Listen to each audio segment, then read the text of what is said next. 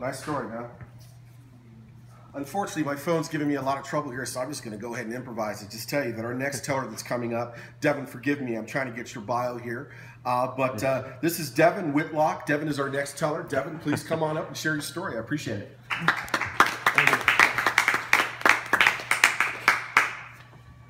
Hello. Hi, hi. The second time I tried to kill myself, I jumped off a bridge. I figured I would hit my head on a concrete embankment, and if that didn't work, I could drown or maybe crack my head open on the bed of the river. I chose to do this on a rainy day after walking for several hours.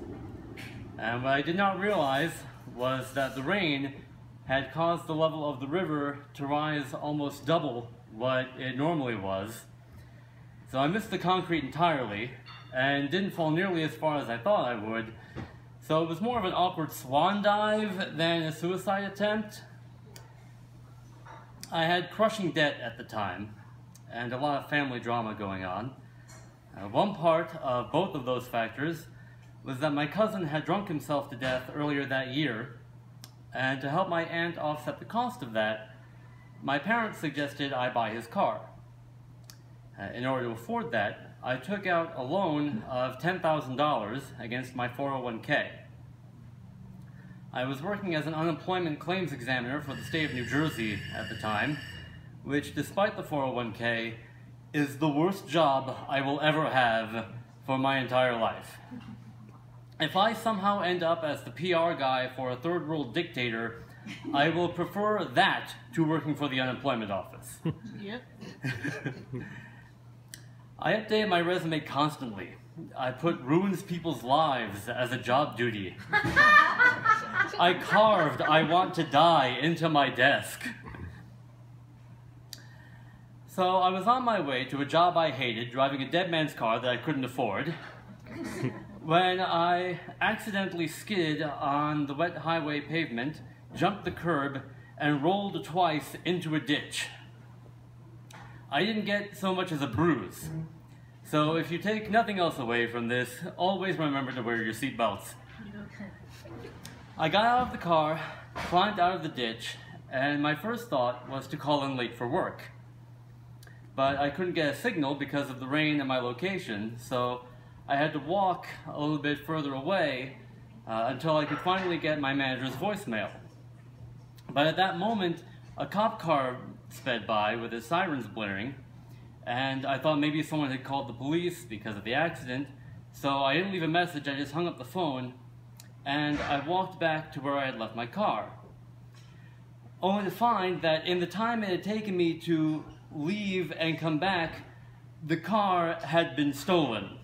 now, I take responsibility for leaving my keys in the ignition, but in my defense, I had left the car in a ditch.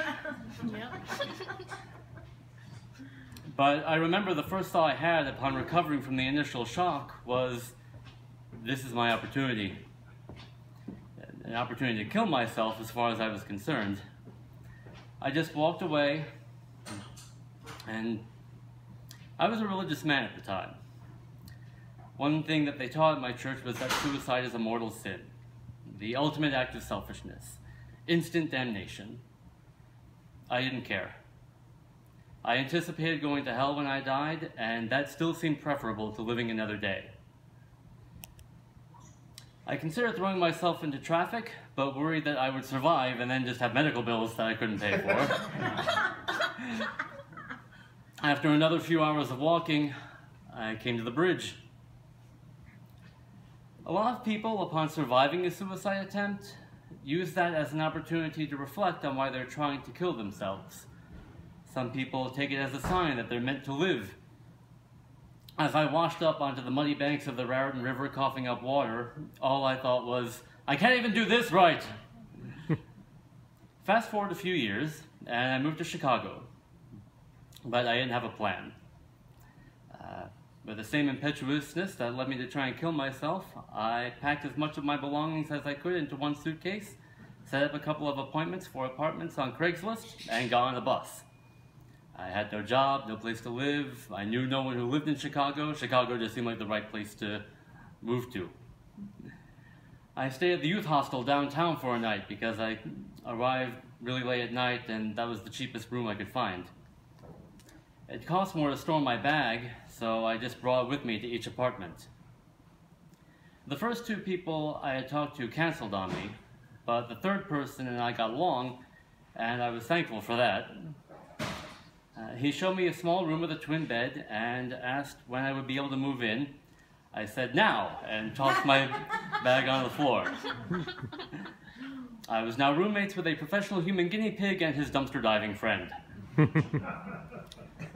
For a job, I just went out from the apartment in concentric circles, applying at every place I could find, filling out every application.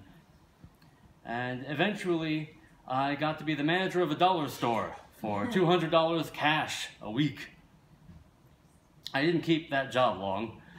I didn't keep that apartment long either. My first year in Chicago, I went through five jobs, four roommates, three boyfriends, and two apartments.